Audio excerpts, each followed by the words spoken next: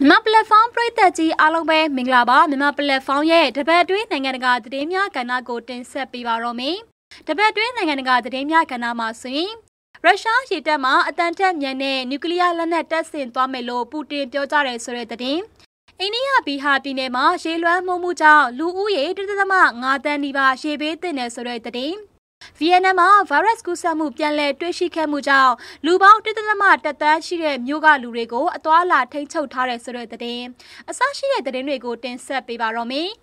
ရုရှားရေတပ်မှအတန်ထက်မြန်ပြီးတော့နျူကလ িয়ার လက်နက်တပ်ဆင်နိုင်တဲ့လက်နက်တွေနဲ့ရေအောက်နျူကလ িয়ার မောင်းသူမဲ့လေယာဉ်တွေကိုတပ်ဆင်သွားမယ်လို့ရုရှားသမ္မတဗလာဒီမာပူတင်ကပြီးခဲ့တဲ့တနင်္ဂနွေနေ့တုန်းကပြောကြားလိုက်ပါတယ်။ ဒီလက်နက်တပ်ဆင်မှုတွေကိုစမ်းသပ်နေတာကနောက်ဆုံးအဆင့်ကိုရောက်ရှိနေပြီလို့လည်းရုရှားကာကွယ်ရေးဝန်ကြီးဌာနကဆိုပါတယ် လက်နက်ပြိုင်ပွဲတွေမလို့ချင်တော်ဘူးလို့ပြောကြားခဲ့တဲ့ပူတင်က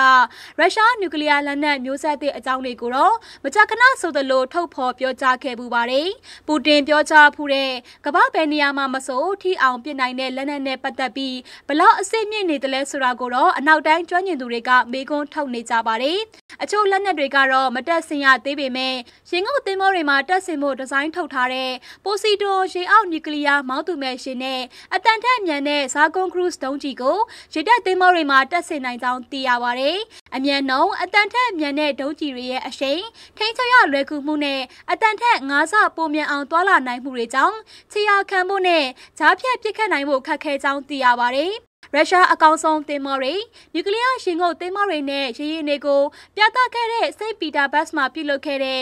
နှစ်ပတ်လည်ရေချောင်းချီတက်ပွဲတစ်ခုမှာတော့ပူတင်ကရေတပ်စွမ်းရည်ဟာတုတ်တက်လာပြီးတော့ယခုနှစ်တွင်သင်္ဘောသစ်40တပ်ဆင်ပေးသွားမယ်လို့ပြောကြားခဲ့ပါတယ်။အတန်ထက်မြန်တဲ့လက်နက်သစ်တွေကိုဘယ်အချိန်မှတပ်ဆင်ပေးသွားမလဲဆိုတာကိုတော့အတိအကျမပြောခဲ့ပေမဲ့အချိန်ပိုပြီးတော့နီးကပ်လာပြီလို့ပြောကြားသွားကြောင်းသိရပါတယ်။အိန္ဒိယနိုင်ငံဘီဟာပြည်နယ်အတွင်းကခရိုင်စစ်တပ်ခုမှာရေလွှမ်းမှုမှုကြောင့်အ ਨੇ ဆုံးလူ10ဦးသေဆုံးခဲ့ပြီးတော့လူဦးရေ1.5တန်းနီးပါးကရေဘေးသင့်ခဲ့ရကြောင်း ပြည်내သဘာဝဘေးအန္တရာယ်စီမံခန့်ခွဲရေးဌာနရဲ့ထုတ်ပြန်ချက်အရသိရပါတယ်။ဇူလိုင်လ26ရက်နေ့ကထုတ်ပြန်ချက်အရဒါဘကန်ခရိုင်ကအစိုးရဆုံးခန်းစားရတဲ့ဒေသဖြစ်ပြီးတော့လူပေါင်း9,3600ကအိုးမဲအိမ်မဲဖြစ်ကဒါမှမဟုတ်နေအိမ်တွေပိတ်မိနေကြတယ်လို့သိရပါတယ်။ဒါဘန်ကခရိုင်ဘီရွှမ်းပါရွာမှာတော့နေအိမ်တွေရေနစ်မြုပ်နေပြီးခါအထိနေပါမြင့်တက်နေတဲ့အတွက်ဘေးကရာကိုပြောင်းရွှေ့နေရတယ်လို့သိရပါတယ်။ ကျေးရွာနေသူတွေကတော့နှစ်စဉ်ရေကြီးခဲ့ပေမဲ့ယခုနှစ်ကစံချိန်ချိုးခဲ့တယ်လို့ပြောကြပါတယ်။တချို့ရွာတွေမှာတရွာလုံးနီးပါးနစ်မြုပ်နေတာကြောင့်လမ်းမပေါ်တွေမှာနေထိုင်ကြရတယ်လို့သိရပါတယ်။မူဇာဖာပါခရိုင်မှာတော့လူပေါင်း2သိန်းကျော်ရေဘေးသင့်ခဲ့ပြီးအရှိချမ်ပါရန်ရှိရေဘေးဒုက္ခသည်ပေါင်း2သိန်း9200အထိရှိတယ်လို့ဝန်ကြီးဌာနသတင်းထုတ်ပြန်ချက်အရဖော်ပြထားပါတယ်။၎ င်းတို့ကိုတော့အိန္ဒိယအမျိုးသားသဘာဝဘေးအန္တရာယ်တုံ့ပြန်ရေးအဖွဲ့ NDRF က18အဖွဲ့နဲ့ပြည်내အဖွဲ့ SDRF က10ဖွဲ့တို့နဲ့ကယ်ဆယ်ရေးတွေပြုလုပ်နေကြောင်းသိရပါတယ်။လက်ရှိချိန်မှာလူပေါင်း33600ကိုဘေးလွရာသို့ပြောင်းရွှေ့ပေးထားပြီးလူပေါင်း14000နဲ့17ဦးကိုတော့ကယ်ဆယ်ရေးစခန်းတွေမှာနေရာချပေးထားတယ်လို့သိရပါတယ်။ပြည်내အစိုးရကလူပေါင်း39000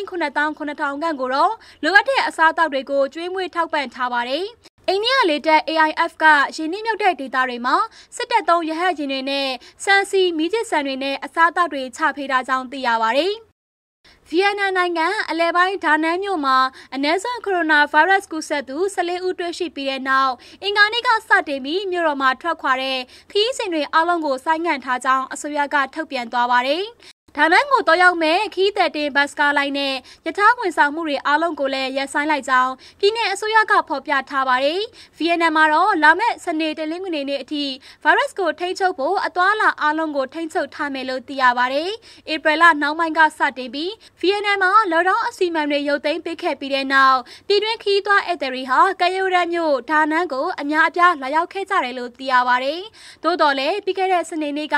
ဒါနန်းမြို့မှာအသက်58နှစ်အရွယ်အမျိုးသားတဦးက